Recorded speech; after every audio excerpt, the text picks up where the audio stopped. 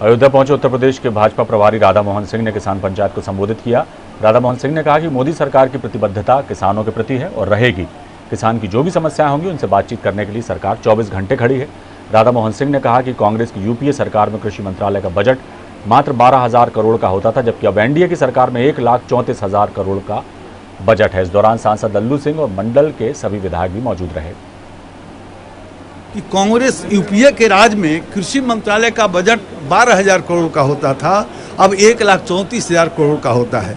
आज दस करोड़ परिवारों के खाते में एक लाख करोड़ रुपया सीधे उनके खाते में जा रहा है। मोदी सरकार की प्रतिबद्धता किसान है, हम किसान के साथ खड़े हैं और किसान की जो भी समस्या है, उसके लिए बातचीत करने के लिए हमारी सरकार 24 घंटा तैयार है।